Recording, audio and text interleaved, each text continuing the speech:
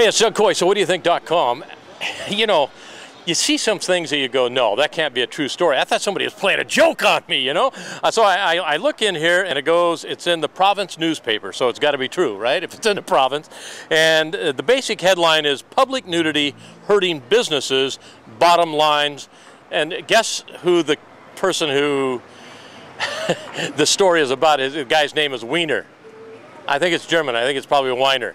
But Wiener kind of fits the story better. Sorry. um, I think it adds a little color. I, I wouldn't. Uh, it depends how many naked people you're talking about. Imagine if you're sitting here having a beer and having your having your food, and all of a sudden this guy nude comes, sits down, and orders a coffee and a meal. It happens in San Francisco. I don't think it's right. I think they can have their naked places and yeah. keep the rest out of that. Whatever happened to no shirts, no shoes, no service?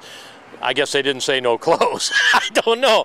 But I mean, that's maybe the guy's got shoes on. I have no idea. But here's the deal. Whatever happened to decency? Whatever happened to moral code?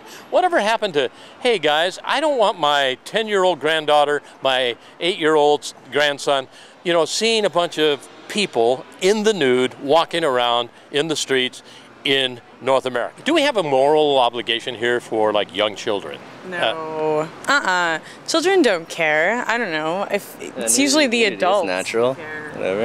It is. Pretty much teach them to like be ashamed of being nude in public. Like it's a taught thing. It's not natural. So I'm sorry. Call me old-fashioned. I don't think I'm old-fashioned. I think we should have something called moral code, and society should have some rules that govern society. When anything goes, everything goes. Yeah. I think it's pretty cool.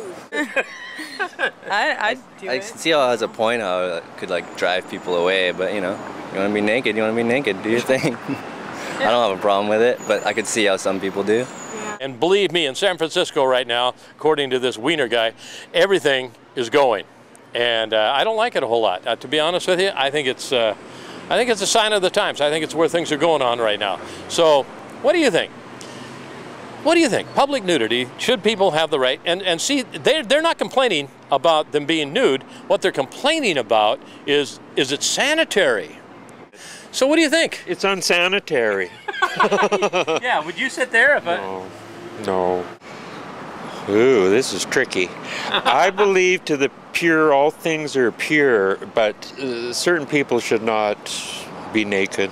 Uh, the, the, more I think about it, the less uh, yeah enthusiastic I am about it. Yeah, I don't know. I don't like it. I mean, there's places for that. I, around the house, I do it. Like just walk around all nude, but public places, I don't think so. It's time and place, you know what I mean? Oh, I don't know. It's got me so flustered. So, what do you think? So, what do you think? Public nudity.